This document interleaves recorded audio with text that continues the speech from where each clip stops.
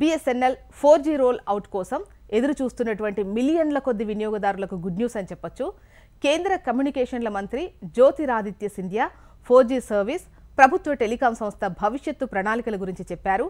దేశవ్యాప్తంగా BSNL four G నెట్వర్క్ను విస్తరించడానికి ప్రభుత్వం సన్నాహాలు పూర్తి చేసిందన్నారు. కంపెనీ ప్రస్తుతం దేశవ్యాప్తంగా నెట్వర్క్ను అప్గ్రేడ్ చేస్తోంది.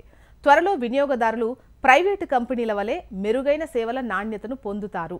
నెట్వర్క్ను అప్గ్రేడ్ చేయడానికి ప్రభుత్వం ఇటీవల ఆరు వేల కోట్ల రూపాయల నిధులను రిలీజ్ చేసింది. అలాగే లక్ష మొబైల్ టవర్స్ను ఏర్పాటు చేస్తున్నారు.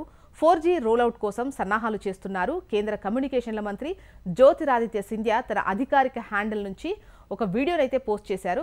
దీనిలో అతను సర్వీస్ను అప్గ్రేడ్ చేయడానికి టెలికాం కంపెనీ సన్నాహాల గురించి చెప్పారు. పబ్లిక్ అఫైర్స్ ఫోరంలో జరిగిన చర్చలో కేంద్ర మంత్రి బీఎస్ఎన్ఎల్ భవిష్యత్తు ప్రణాళిక తెలిపారు. ప్రస్తుతం భారతదేశంలో Jio Airtel VI BSNL four ప్రధాన టెలికాం కంపెనీలుగా ఉన్నాయని చెబుతున్నారు.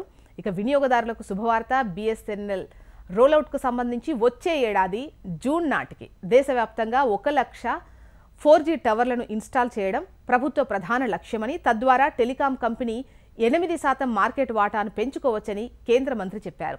టూ జీ త్రీ జీ వినియోగదారుల సంఖ్యను పరిగణలోకి తీసుకుంటే భారతదేశంలో ప్రతి ఒక్కరికి ఫోర్ జీ అవసరమని అయితే ఫోర్ జీకి మారవలసిన అవసరం పెరుగుతోందని భారతదేశంలోని దాదాపు తొంభై ఎనిమిది శాతం జిల్లాలకు ఫోర్ జీ కవరేజ్ విస్తరించిందని ఆయన అన్నారు. ఇక వచ్చే ఏడాది జూన్ నాటికి వినియోగదారులకు దేశవ్యాప్తంగా పూర్తి ఫోర్ జీ సేవలు అందుబాటులోకి వస్తాయంటున్నారు. ప్రస్తుతం నెట్వర్క్ అప్గ్రేడ్ పనులు జరుగుతున్నాయి.